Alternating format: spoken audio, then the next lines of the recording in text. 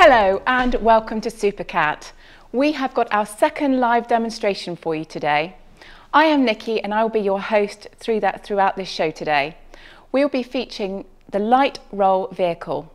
But also we've got an added treat for you at 2 p.m. today. It's not too late to register for our electric ATMP and our optionally manned variant at supacat.com forward slash news events forward slash events. Now you may be asking, why are we delivering this to you today? Well, unfortunately, due to coronavirus, all exhibitions have been cancelled globally, but that hasn't stopped our engineering team working tirelessly around the clock to deliver the latest modifications and techno technology innovations to our vehicles. So we thought this was a prime opportunity to deliver you our vehicles today. Now, there is a question and comments box. We would really like you to get involved today and ask, ask some questions for us, which my team will come up at the end of the show and answer those key questions. Also, if you'd like to get involved, please go to Twitter and use at Supacat Limited or use the hashtag SupacatLive. But please may I suggest that if you're watching this on demand or you have a commercially sensitive question, please email info uk at supacat.com. Now that's all that's left for me to say is sit back and relax and please join Toby talking about the LRV.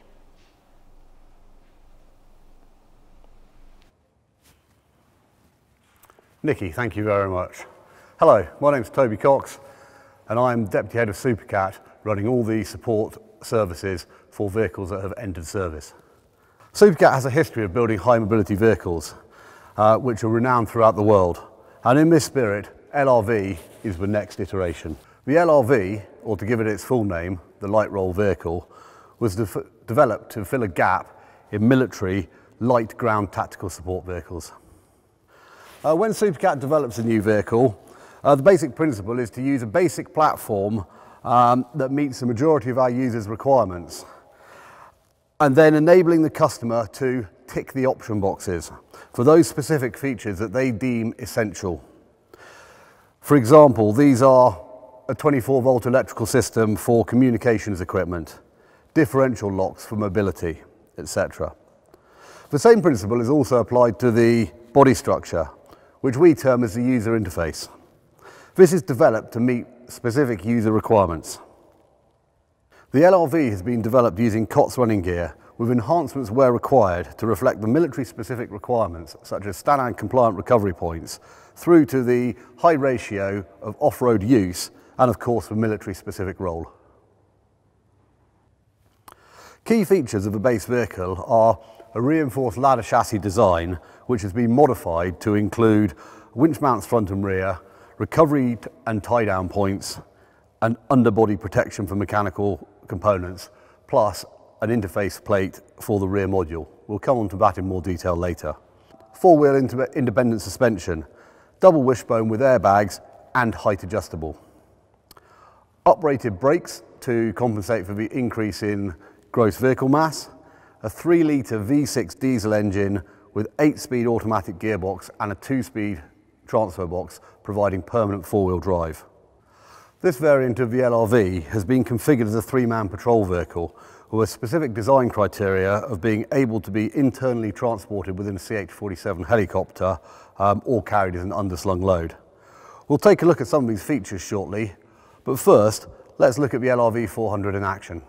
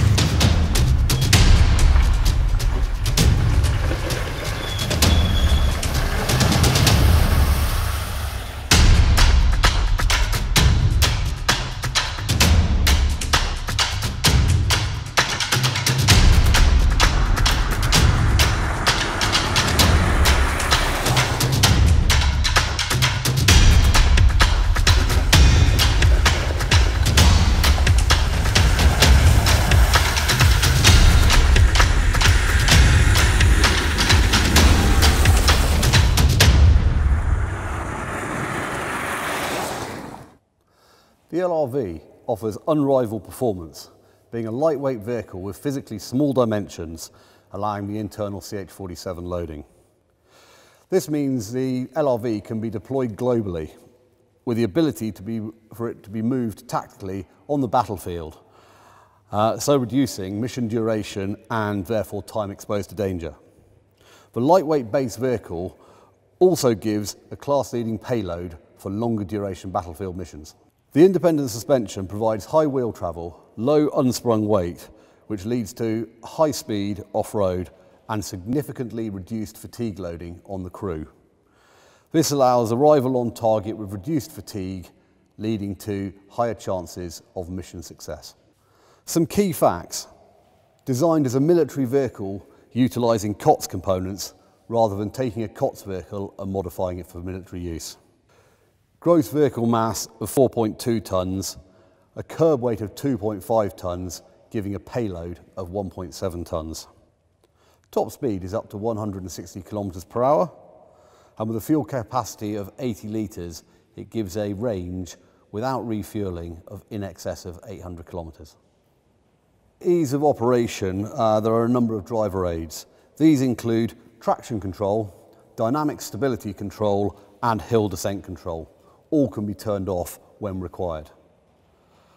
Looking into the vehicle, you can see that it's equipped with a full rollover protection system, providing a safety cell for the occup occupants with seating and four-point seat belts for three people.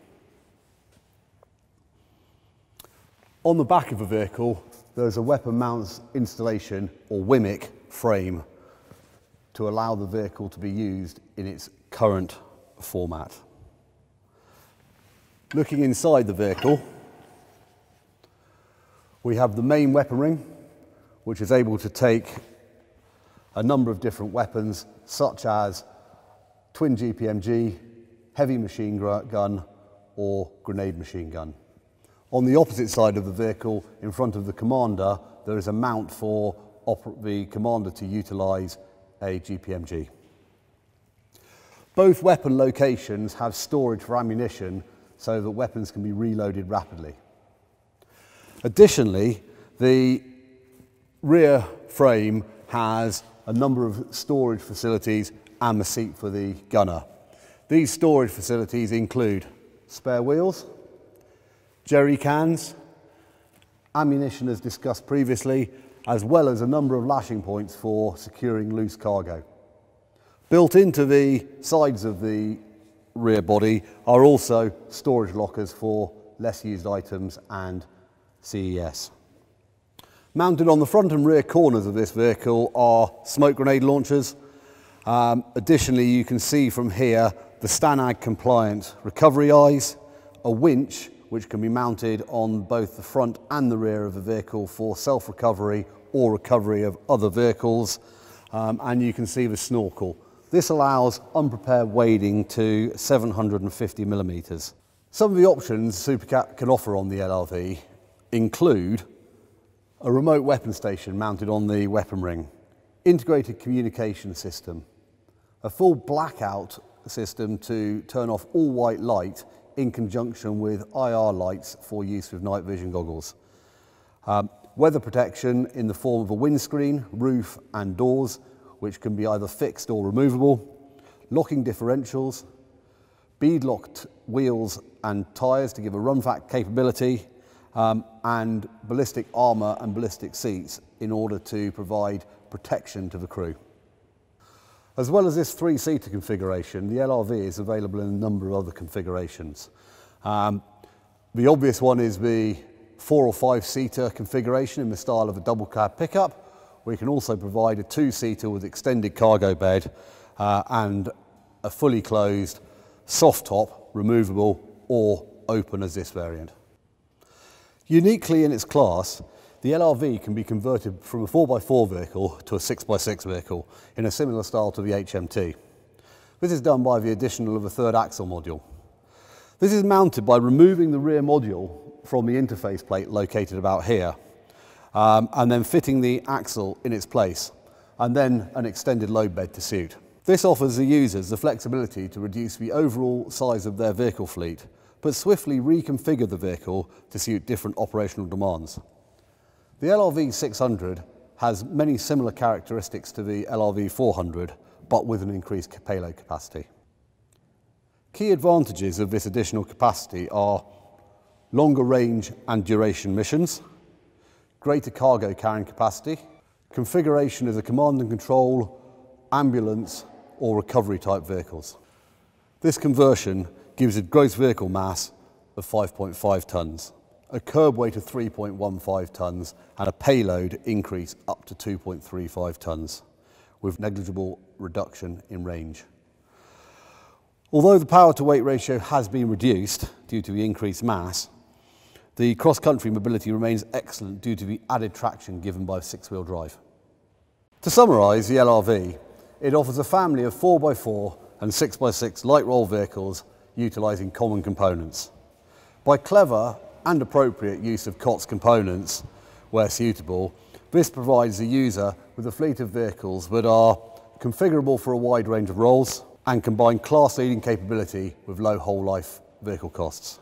The LRV offers users an ideal, lightweight, rapid intervention vehicle suited for special forces, border patrol, reconnaissance and strike operations, with a common fleet of support vehicles.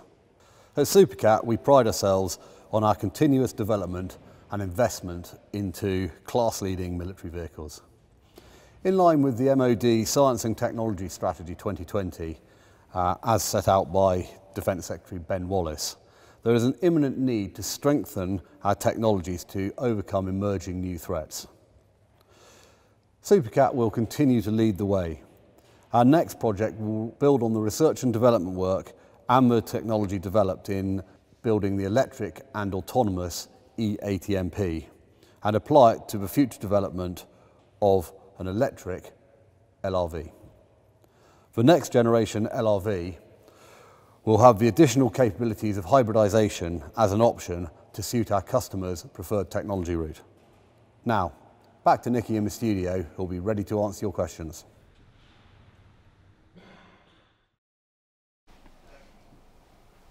Hello, hello and welcome back. Thank you so much, Toby, for going through the features of the LRV.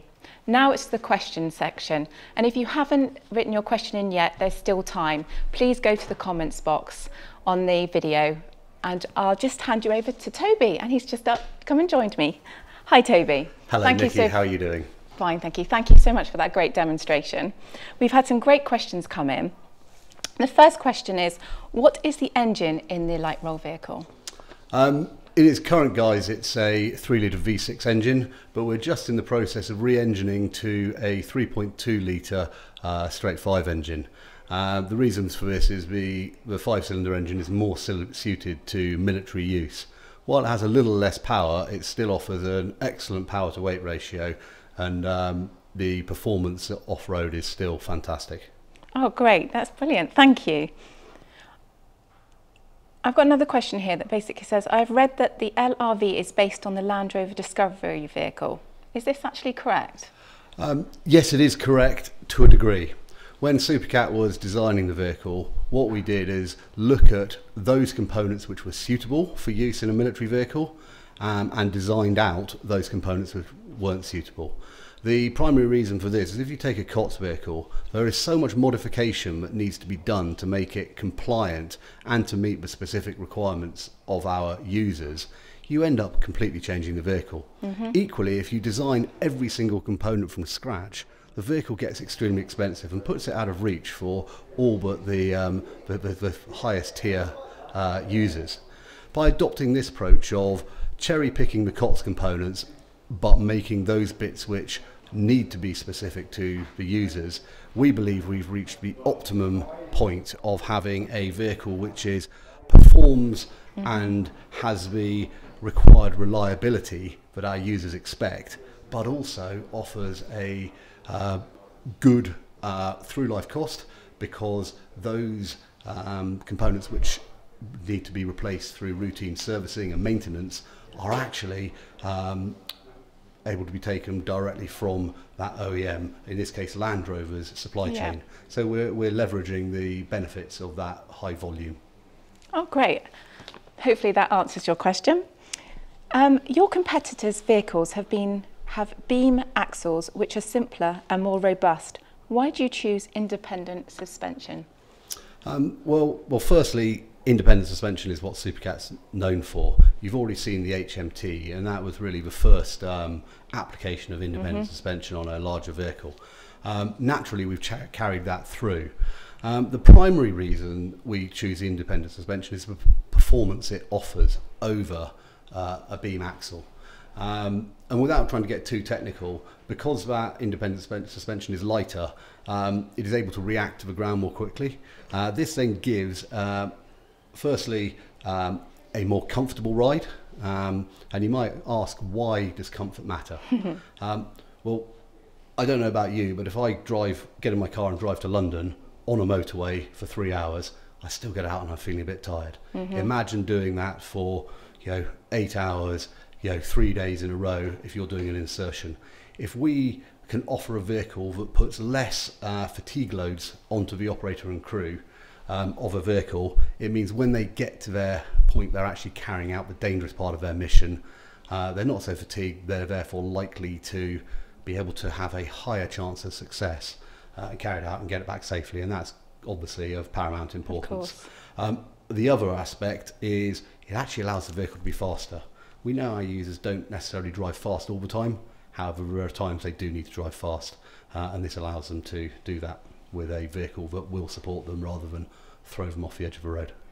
Great, that's interesting. Thanks, Toby. Um, also, another question's come in. Uh, what traction aids does the light role vehicle have? Um, so the standard, um, we, we've taken the um, the electronic traction control system, um, hill, hill descent control system, which come as standard with the vehicle, um, and they offer a a very um, good capability for a less skilled driver. Yeah. So if the vehicle is being used by uh, an operator who's not undergone in-depth training in off-road driving techniques, it actually does virtually everything mm. for them.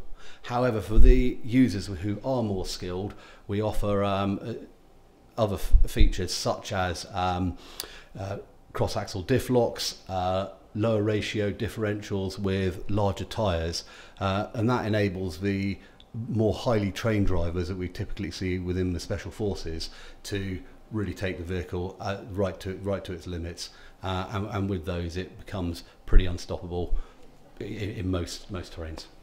Wow, wow, that's amazing. So, uh, what developments are you planning for the vehicle? Um, well, like all our products, there's a, there's a continuous and ongoing um, development program. Uh, one of the things we're looking at at the moment is the, the flexibility of the vehicle going going forwards, mm -hmm. uh, and for that reason, we, we have a space frame chassis under development. Uh, and the primary reason for that is it offers a an ability not to be restrained or constrained by the wheelbase um, of the existing chassis. Uh, with a space frame chassis, if a customer, for whatever reason, wants the vehicle to be uh, 10 centimetres longer or 10 centimetres shorter or to have a bigger load bed, we can implement that in a space frame chassis very easily because we have full design control of it. Okay, yeah, that does make sense. Um, also, the LRV only has three seats. Is there other configurations at all available? Absolutely. Um, it was one of the key, key um, requirements when we initially designed the vehicle. Um, the, the, the version you have seen was put together and for, for, for a specific program of which the customer only required three seats. Um, but you know, the, the standard vehicle, it's much like going into a showroom. You know, you and you want to buy a normal pickup. You can either buy the pickup mm. with just a two-man cab, you can buy it with the double cab, you can have um, a, a pickup bed on the back, or a flat body bed on the back. So we, we offer it really in in a number of configurations. You have a just a two-seat cab, a two plus one as you see it in the current configuration, um, or a two plus three cab. Then onto the back of that we have the ability to put a different variety of different load beds. So we have the, the, the weapon mount installation kit, the WMIK frame mm-hmm. as you saw on the video. Um, you can have a flat load bed or for utility purposes. Uh, we can do a troop carrying variant which has an additional four seats on that load bed. Um, um, and, and then of course um, we've got the 6x6 variant which can be brought in as well which offers the same front end configuration of the vehicle, Yeah. but um, more room on the back. Uh, and with that, we see um, the ability to either have a large bed for a logistics type vehicle or to be able to actually have pods which are mounted on the back of the vehicle. Um, with those pods, you can then interchange them. So there, well, you have one vehicle which can be used in a multiple of roles. For example, command and control, Yeah. troop carrier, ambulance, a um, a, a, a a me- a recovery type body which has all the equipment needed to have uh, maintenance crews working on the vehicles plus carry some spares. So as a platform it is extremely flexible. Yeah, very flexible. Um, or final question here for you, uh, Toby, is can the LRV be armoured? Uh, yes, it can be armoured. However, as a small um, vehicle, the yeah, the payload is obviously significantly lower than one of our larger vehicles like the Yeah. HMT. Um, effectively, your armour is a part of your payload, so it becomes a trade-off. Um, you know, we, we have options for applique uh, ballistic and blast armour to give low-level protection, uh, but you are limited by the weight the vehicle can carry. Okay, no, that's great. Um, I have a question here on the electric LRV, which I think may be probably suited for uh, Steve, if that's okay. Yeah, absolutely. I will pass over to him now. Thank you so much. Thank you for joining me, Toby. I really appreciate it. Well, thank you. No problem. Uh, Steve, can I invite you up to the floor? Welcome. Hello.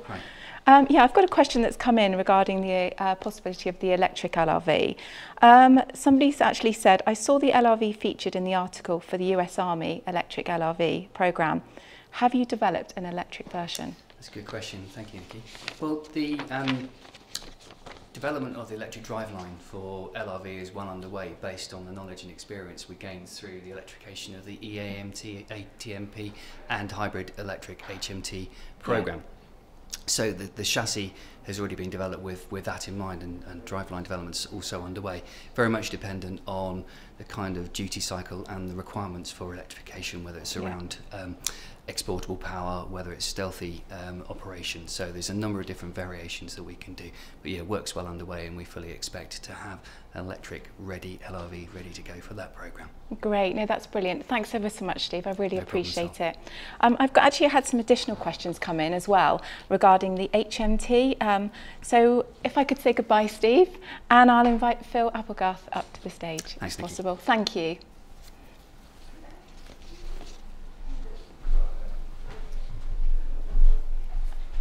Hi, Phil. Hi, Nikki. All right. If you could come a little bit closer. Yep, sorry. Thank you. No, that's all right.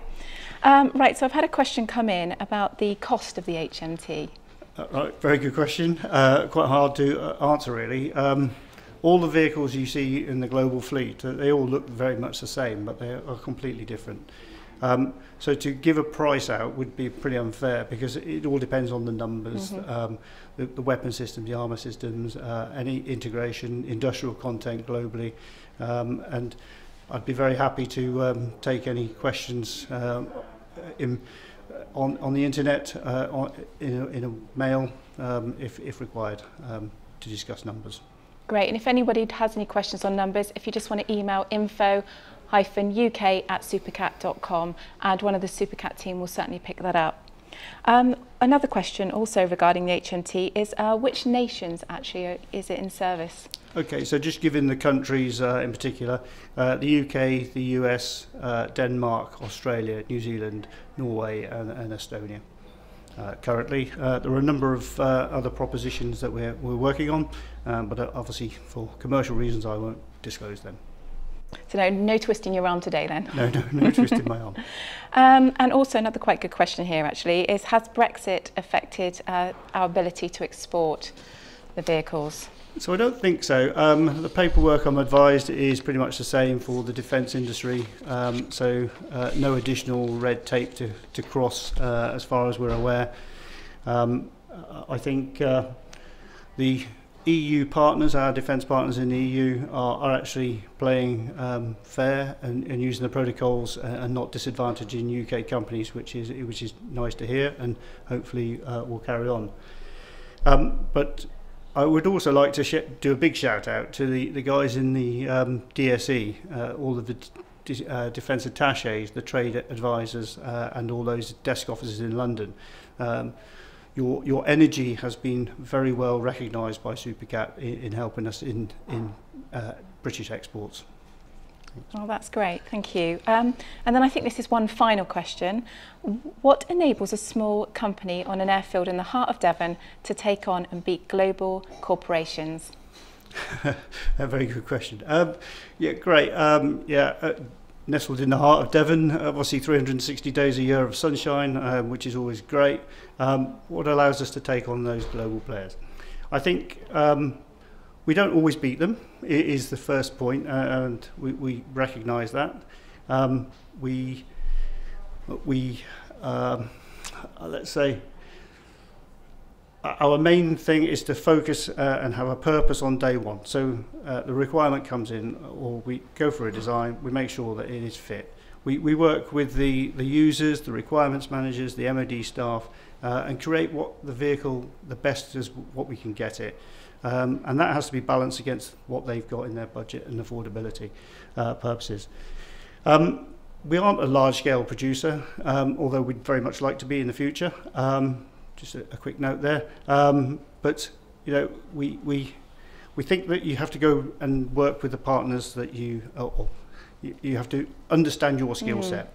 If you if you wanted a tank, you'd probably go to Rheinmetall. If you wanted a, an ejector seat, for example, you'd go to uh, Martin Baker. And if you wanted a missile, you'd probably go to Lockheed. Um, and if you want a great um, mobility vehicle, then hopefully you'll come to Supacat. Um, so that's that's where I think we are. Um, we also like to collaborate a lot. Uh, we're a small company, as you, as you mentioned, and I think the collaboration um, with our industrial partners uh, is quite key to that as well. So, yeah, in the heart of Devon, we can compete uh, at the, on, the, on the world stage, uh, creating great vehicles. That's great. Thank you so much, Phil. Thank you um, all today for helping us and answering some great questions. That's Phil, Steve and Toby. Now, all that's left to say is just to kind of wrap up and just to say thank you to the production crew and the team who have been able to put this on under these COVID tight restrictions we've managed to be able to broadcast to you today. I hope you've enjoyed the show, but don't forget the electric ATMP and the Option Man variant will be broadcast live at 2pm today. It isn't too late to register, just go to supacat.com forward slash news events forward slash events. And again, if you have any other questions you'd like to ask, just email us at info hyphen uk at supacat.com. You can also tweet us at Supacat Limited using the hashtag Supacat Live. Thank you so much for joining us today. Much appreciated.